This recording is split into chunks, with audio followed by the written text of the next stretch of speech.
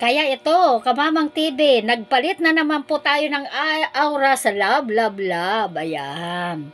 Ayan nga po ang kaigihan. Nagkita kami kahapon ng kaibigan ko at nagpaturo siya sa akin sa kanyang uh, sa kanyang cellphone. Doon ko nakita na marami pala sa Snap ang pwede mong uh, kunin para mabago ang iyong itsura. Ayan. Hinanap ko ngayon dito sa cellphone at ito nga po, ayan.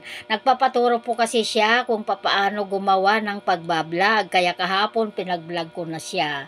Ang hindi pa po niya alam ay kung paano mag-edit. Hindi ko naman po siya maturo maturuan kahapon kasi nga po uh, ang kanyang load mahina ang load dun, so, dun sa loob ng supermarket. Ayan. Ano ang masasabi nyo guys sa aking itsura ngayon? Ayan.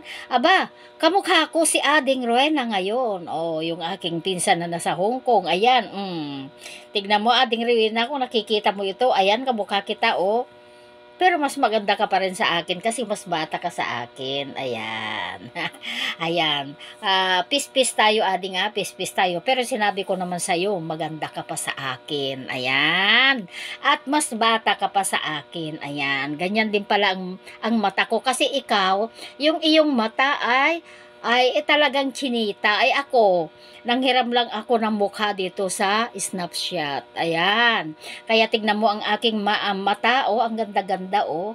Sana, ah, uh, gagawin ko rin sana sa pagkukolorete ng mukha ko yan, pero wala po ka akong pagtitiis sa pagkaka, pagkukolorete ng mukha. Ayan.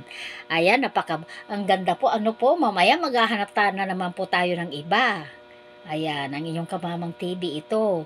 Huwag niyong kakaligtaan panoorin ang aking mga uh, vlog at ang aking mga content. Thank Hello, hello, hello, hello, hello. Ito na naman po, ibang aura naman, na naman po tayo ngayon. Ayan. Nasasarapan po natin kasi hindi po tayo makalabas para mag-vlog. Ayan. Kung ano-ano na lang ang ginagamit natin at ang ating ina-adapt sa Snapchat. Ayan. Oh, ang ganda-ganda ko, 'di ba? Oh. Oh. Sa totoo lang naman po kayo manggi tayo. Kaya ito ang uh, bagay sa atin na kulay. Ayan. Hindi mo akalain, may malalaman ka dun sa ibang apps. Ayan, ang ganda-ganda ko. Oo. Hindi ba kayo naiingit sa akin? Ang sabi nga nila, kapag ikaw daw ay nainggit, gawin mo kung kaya mo. Pero ang masama po, pag ikaw mainggit, sisiraan mo yung isang tao, huwag ganon.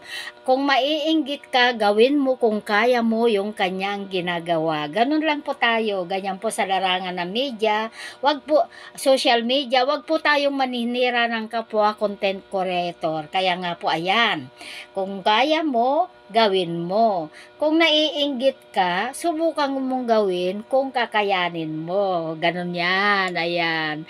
Ayan ang inyong kamamang TV. Uh, ah, dito sa harapan ng kamera, medyo, medyo pinapasaya po natin ang ating sarili para po tayo ay may maikontent. Ayan. Ayan. Ang mukha po natin naging kwan. Yan ang magandang kulay sa aking buhok. Ayan. Ayan, ang ganda-ganda. Oh, mm pero maraming pera pa ang ating gagamitin kung tayo makapagpaganyan. Pero mo, iwawas pa yung iyong, yung hair. Nasisira na nga po ang aking hair sa kawawas, kakukulay.